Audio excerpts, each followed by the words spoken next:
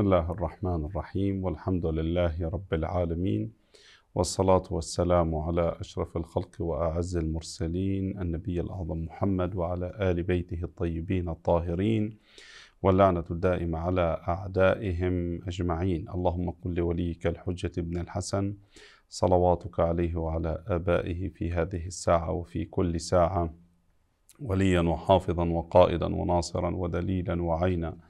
حتى تسكنه أرضك طوعا وتمتعه فيها طويلا.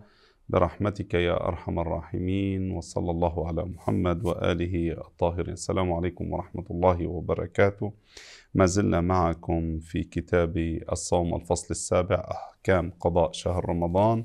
ووصلنا إلى المسألة 1048 هذه المسألة أيضا تتحدث عن فكرة الترتيب بين صوم القضاء وغير قضاء شهر رمضان من أصناف وفروع الواجب.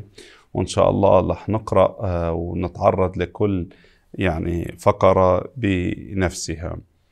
يقول المصنف لا ترتيب بين صوم القضاء وغير وغير القضاء من أقسام الصوم الواجب بالأصل كصوم الكفارة. يعني بنجي نحن كما تعلمون الكفارة بأصلها واجبة إنما شرعت بأصلها واجبة. وقضاء شهر رمضان أيضا هو واجب. فإن كان هذا المكلف ذمة المكلف مشغولة بواجبين منه يعني الواجب الأول طرف الأول هو قضاء شهر رمضان وطرف الثاني اللي هو الكفارة. هل يجب على المكلف حين الأداء أن يحدد مثلا أن يعين أن يرتب. بمعنى يقول الآن أقضي هذه العشرة أيام أولا عن شهر رمضان ثم آتي بقضاء القفار. يعني بمعنى شو قصدهم بالترتيب هون؟ أنه هذا هذا المكلف هل لا يجوز له أن يأتي بقضاء القفارة قبل قضاء شهر رمضان؟ بمعنى هو في ترتيب واجب في ترتيب مشرع في حق هذا المكلف نقول لا لا دليل على وجوب الترتيب بين القضاء فيما إذا كان الواجبين كان شو؟ الواجبان آه بالأصل هن واجبين عليه فلا ترتيب ولا تفاضل بينهما. يقول ولا ترتيب بين صوم القضاء وغيره. غير القضاء من شو؟ من أقسام الواجب بالأصل كصوم الكفارة.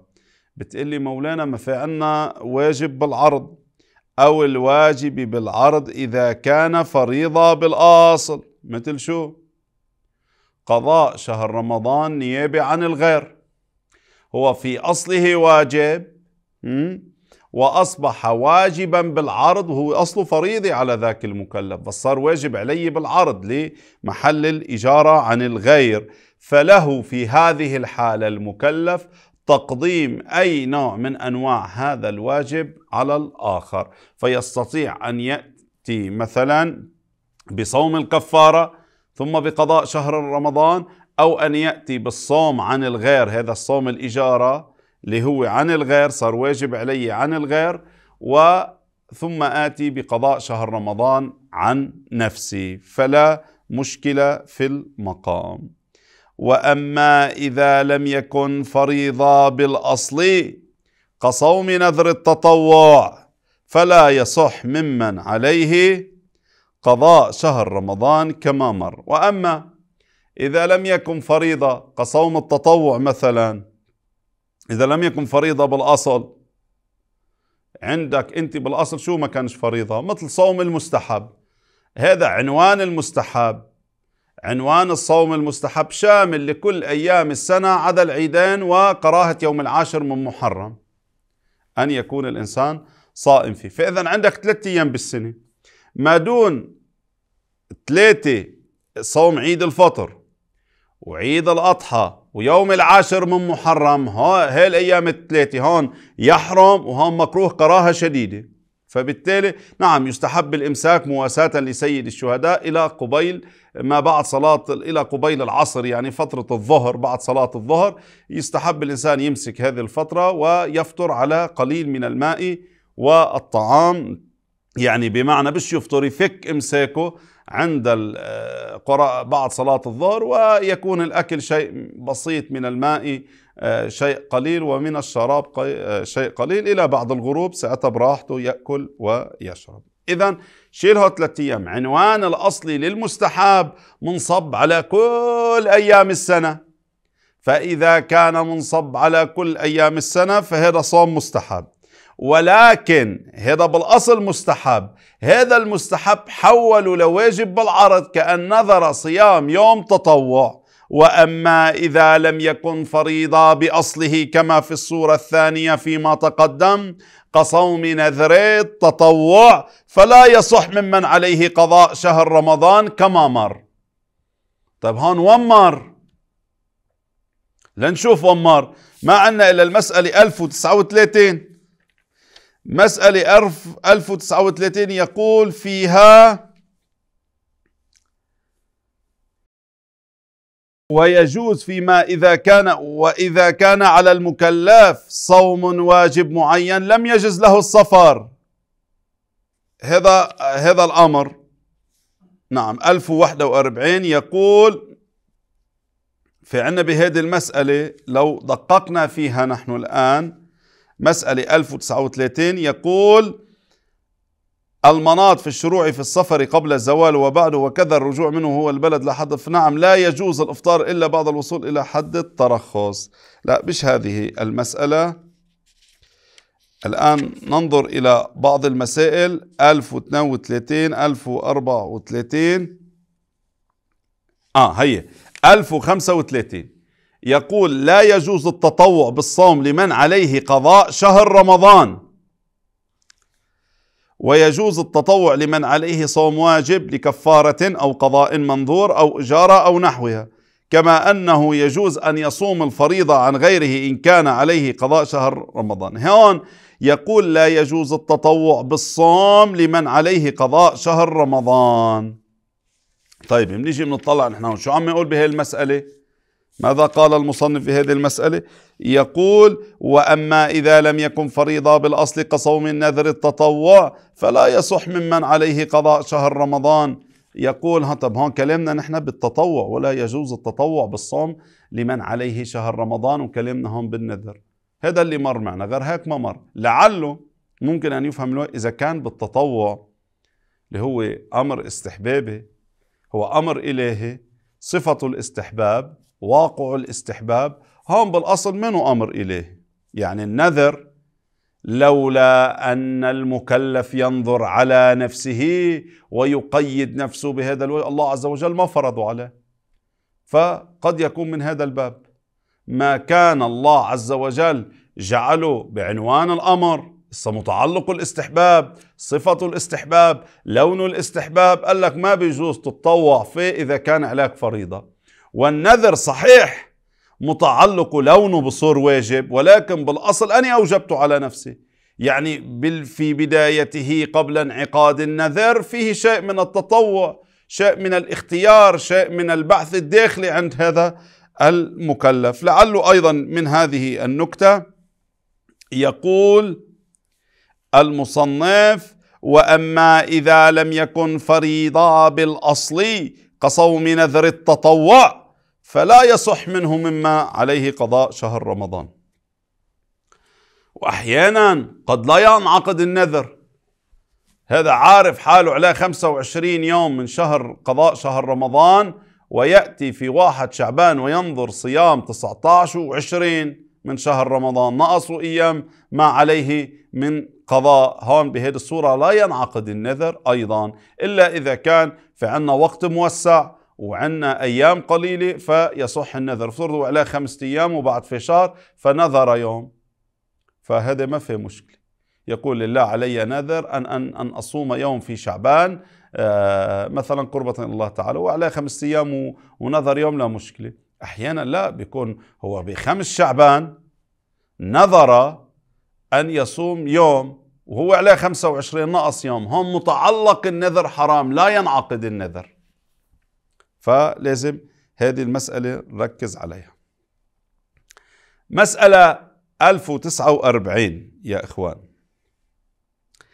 إذا فاتته إذا بالمسألة الأولى واضح عدم جواز الترتيب. بالمسألة الثانية قلنا كما مر مر بالمسألة 1035 كان عم يحكي عن المستحب هون عم يحكي عن النذر. قلنا لعله المفارقة من هذه الجهة أن كلاهما لم يكون ما في وجوب بنحو الواجب آه، بالأصل. لا المستحب بأصله واجب على المكلف إنما في رخصة وإنما هو آه، مستحب. وهان النذر أنت أوجبته على نفسك ولم يوجبه الله عز وجل. وأنت تعلم أيها المكلف حينما عقدت الناذر أن في أن ذمتك مشغولة بقضاء شهر رمضان وجيت بنفسك عقدت نذر لهذا الأمر. طبعا عدم انعقاد النذر على صور إذا كان ممكن جمع القضاء مع النذر لا مشكلة. فرضنا هي الصورة مثل هو في خمس شعبان نظر مثلا أن يصوم عشرين وواحدة وعشرين شعبان هو عليه خمسة وعشرين يوم أو أربعة وعشرين يوم. هنا لا ينعقد النذر لأنه انخرم يومين مما في ذمته. متعلق النذر صار غير مشروع لأنه يزاحم ما كان واجبا بالأصل كالقضاء. وهنا في هذا المقام وفي هذا التزاحم يقدم القضاء لأنه حق الله عز وجل. لا أن أقدم ما أوجبت أنا بنفسي ما أوجبه المولى علي لم آتي به سواء لعذر أو غير عذر. في ذمتي مشغولة للمولى بقضاء ولا لا. أجعل أجعل ما كان لله ما كانت الذمة مشغولة فيه لله.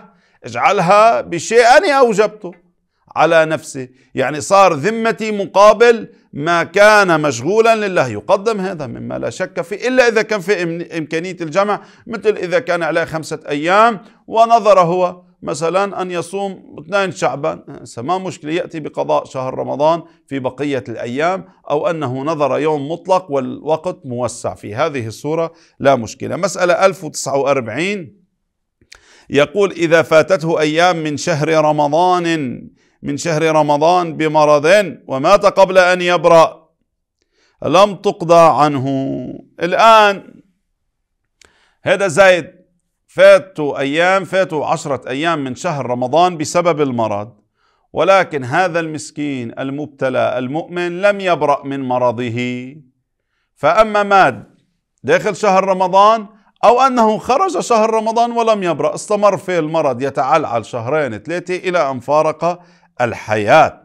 إذا المهم والملاك في الأمر أن يستمر المرض إلى الموت. هل يجب قضاء ما فاته على ألو... على الولد الأكبر؟ أو إذا فيش ولد أكبر الورثة بس بدهم يجوا يجب القضاء دفع القضاء. الروايات. دلت الروايات الشريفة عن محمد وآل محمد على أن من فاته أيام راحت عليه أيام بسبب المرض ولم يبرأ حتى مات لا يقضى عنه لأنه الذمة لهذا المكلف أصلا غير مشغولة بالقضاء والتكليف. الأداء أداء القضاء فرع التكليف ولا تكليف في المقام. وأيضا بالنسبة إلى المرأة بسبب الحيض والنفاس ماتت خلال شهر رمضان مثلا أو ماتت ثاني يوم العيد. باعتبار أنه يوم العيد ما فيها تصوم. ثاني يوم العيد برؤت ب 29 شهر رمضان صامت 29 وعليها عليها 10 أيام من شهر رمضان بسبب الحيض والنفاس. واثنين شوال توفت. لا يجب القضاء عنها. وكل هذا للروايات في آه، بالروايات في المقام الروايات الشريفة عن محمد وآل محمد التي وردت في هذا المقام. بيبقى عندنا لنشير إشارة ونزد زتي بالنسبة للمسافر. إذا فاته أيام من شهر رمضان بسبب السفر ولم يتمكن من القضاء خلال السنة يقضى عنه في كل الحالات. ورد عندنا فقط في عنوان المرض. يقول في المسألة 1049 يا أعزائي يا أحبائي إذا فاتته أيام من شهر رمضان بمرض ومات قبل أن يبرأ من المرض لم تقضى عنه. لماذا؟ لأنه استمر به المرض وكان مرض الموت. وكذا إذا فات بحيض أو نفاس فات هذه المرأة هند فاتها عشرة أيام من شهر رمضان بسبب الحيض أو النفاس ثم ماتت فيه في شهر رمضان أو في أيام الحيض. فينا نرجع الضمير الاثنين تصح العبارة. ماتت فيه في شهر رمضان أو في أيام الحيض أو النفاس. إذا ما صار عندها وقت لتقضي سواء في شهر رمضان أو في أيام الحيض. طار عندها سبعة ثمانية أيام هي تاسع يوم من النفاس أعطتكم عمرها. سابع يوم من الحيض أعطتها عمرها. حادث سيارة احترقت سكتة قلبية إلى آخره. أو بعد ما طهرت قبل مضي زمان يتمكن يمكن القضاء فيه. شو قلنا بعد ما طهرت طهرت هي في شهر رمضان هلا هلال العيد يوم العيد ما في صيام ثاني يوم العيد توفيت ما أصلا ما صار عندها ولا فرصة للقضاء. بخلاف الصور بخلاف هون بالنسبة للنساء وأيضا هذا الإنسان ما إذا تمكنوا من القضاء ولم يقضي. إذا واحد كان مريض بشهر رمضان واستمر في المرض شي شهر شوال بعد شهر رمضان ثم بعد هذا الشهر طاب وبرق وما صار إشبه شيء؟ ولم يقضي تهاون. لأي أسباب ستأتي. المهم أنه لم يقضي ثم مات هنا يقضى عنه. نحن بشرط أنه عدم التمكن من القضاء في صورة المرض والحيض والنفاس. مسألة 1050 انتهت هذه المسألة يا أخوان. مسألة 1050 إن شاء الله أيضا بتشتمل على عدة نقاط. نعرضها متواليات. عليكم إذا زاد الصورة الأولى ركز معي لأنه صور مهمة جدا ولا بد أن نشير إليها واحدة واحدة. إذا زاد فاته شهر رمضان كل أو بعض من شهر رمضان أو بعضه افترض هذا زاد فاته شهر رمضان أو عشرة أيام من شهر رمضان. بسبب المرض شو كان عذره؟ المرض يا إخوان. واستمر به المرض إلى شهر رمضان الثاني. سقط عنه القضاء مفروض صح ولا لا؟ فإذا العذر في ترك الصوم شو كان هون؟ المرض. والعذر في ترك القضاء كان استمرارية المرض إلى شهر رمضان الثاني.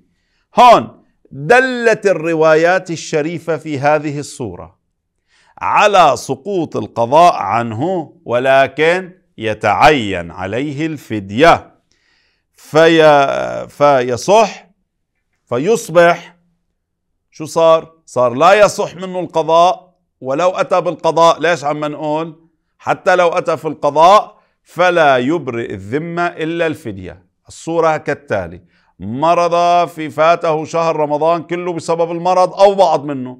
يا 30 يوم بسبب المرض بقي مريض يا 10 12 يوم من شهر رمضان. خلص شهر رمضان اجى العيد استمر به المرض إلى أن جاء شهر رمضان الثاني.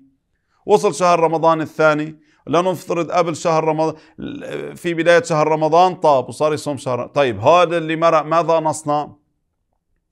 نقول طالما استمر به المرض إلى شهر رمضان الثاني سقط القضاء عنه. صار تكليف انتقل التكليف في الإعلاء بذمته إلى الفدية أن يدفع عن كل يوم مد من الطعام. يعني بده يدفع 30 مد. هذا أمر. بتقول لي بعد شهر رمضان الثاني إذا صار جسمه صحيح وقادر يقضي بتسقط الفدية؟ نقول لا. هذه جدا مهمة. سورة اثنين. إذا العذر الأول كان في فوات شهر رمضان بأكمله أو بأجزائه أو ببعضه المرض. سورة الثانية بنقول كان العذر لفوات شهر رمضان غير المرض. كالسفر هذا الظاهر مسافر بشهر رمضان لكل دولة ثلاث أربعة أيام بدواعي متعددة وأيضا وكان العذر في التأخير. القضاء ما بين رمضان اللي هو ابتلي فيه في السفر ورمضان شهر رمضان الثاني. هذه السنة اللي مرقت بين الرمضانين شو كان العذر فيها؟ غير المرض. السفر أي داعي آخر. كل السنة كان مسافر من مكان إلى مكان. هنا يجب عليه القضاء فيما لو أدركه شهر رمضان الثاني فما بعد شهر رمضان الثاني يجب عليه القضاء لأنه كان فوات شهر رمضان بكله أو ببعضه كان بداعي السفر ولم يكن عذر المرض. فإذا في عدم الأداء الأساسي للصوم كان بداع بعذر غير المرض واستمر هذا الداعي غير المرض على مدار السنة. بلغنا شهر رمضان الثاني هون الفقيه شو بيقول له للمكلف؟ وفق الأدلة والروايات الشريفة التي وردت بس نقول الفقيه يعني دليل يعني العجينة كلها. كل شيء العملية كليتها الرياضية شو بدك تحسبها؟ احسبها كلها دليل. مو مثل ما طالع لنا البعض الآن من الصيصان بقول يعني رأيه بدي رأي أهل البيت رأي الفقيه عين رأي محمد وآل محمد في جملة 70 80% إلا ما فقد الدليل أو لم يجد دليل ناصع وفق المباني يلجأ إلى الأصول العملية وغيرها. إذا هذا الفقيه شو بقول يجب عليك القضاء والفدية فدية التأخير. القضاء لأنه هون القضاء لا يسقط إلا بعذر المرض. والفدية هذه فدية عن التأخير لأنك أخرت شهر رمضان عن رمضان الثاني يعني قضاء شهر رمضان عن عن رمضان الثاني إلى رمضان الثاني.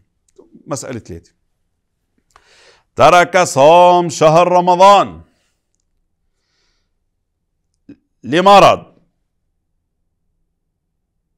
هذا مرض بشهر رمضان بتمامه أو بنصفه. المهم ذمته مشغولة بشهر رمضان. يا بتمامه يا بنصفه ولكن شو كان الداعي والعذر يا أحبائي؟ كان المرض. طيب خلص شهر رمضان. تفضل اقضي. حصل عنده عذر غير المرض كالسفر. يقول هون الفقيه يجب عليه القضاء زائد فدية التأخير. بتقلي صحيح حدوثان كان حدوثا عدم قيامه بالتكليف الأدائي كان بسبب المرض ولكن بقاء واستمرارا على مدار السنة كان عدم أداء التكليف بالقضاء ليس لعلة المرض بل بسبب عارض آخر كالسفر هون شو بنقول يجب عليك القضاء لأنه بلغك رمضان الثاني ولم تؤدي ما عليك من قضاء ويجب عليك فدية التأخير للروايات الشريفة وعلى رأسها تلك الرواية المشهورة بجيب بالمعنى من صح بين الرمضانين عليه القضاء هذه من جهة من صح بين الرمضانين عليه القضاء هو صح منه مريض والعذر كان السفر ولم يكن المرض فتعين عليه القضاء. ومقتضى ما دل على وجوب دفع الفدية عند التأخير أيضا آه، يلزم بالفدية فاجتمع عليه القضاء والفدية. أربعة ترك الصوم لسفر صوم شهر رمضان أو كل الشهر أو قسم من الشهر.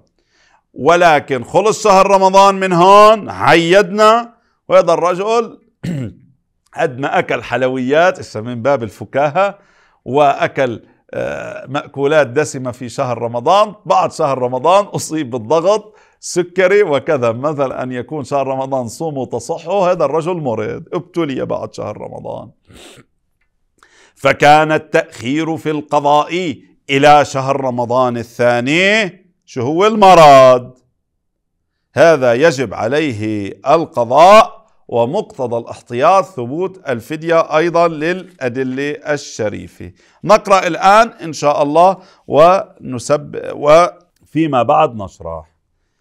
إذا فاته شهر رمضان أو بعضه بمرض واستمر به المرض إلى شهر رمضان الثاني سقط قضاؤه وتصدق عن كل يوم بمد ولا يجز القضاء عن التصدق. يعني إذا تمكن من القضاء بعد شهر رمضان الثاني السنة الثانية لا يسقط عنه عنوان التصدق. بتقول ما صرت آذي أدي صوم ما بدي أدفع مصاري. وأما إذا فاته بعذر غير المرض وجب القضاء وتجب الفدية أيضا على الأحوط لزوما. وكذا إذا كان سبب الفوت المرض وكان العذر في التأخير السفر وجب القضاء والفدية وكذا العكس ما إذا كان سبب الفوت هو السفر ولكن لم يقضي بسبب المرض هذه الصورة العكسية يجب عليه القضاء والفدية وكله للأدلة والروايات الشريفة التي وردت في المقام. مسألة 1051 تأتي والسلام عليكم ورحمة الله وبركاته. اللهم صل على محمد وآل محمد. اللهم صل على محمد وآل محمد. اللهم صل على محمد وآل محمد.